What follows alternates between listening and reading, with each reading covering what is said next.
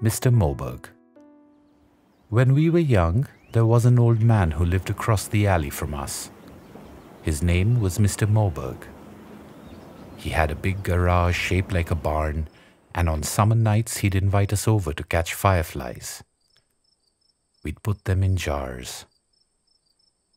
Mr. Moberg built a grotto out of rocks and cement, and he said that's where the gnomes lived, and I believed him. Later on, he got grumpy and mean and threatened to keep our ball whenever it went over the fence. I asked my mom why, and she said it was cause his wife was very sick. Thank you, Mr. Moberg.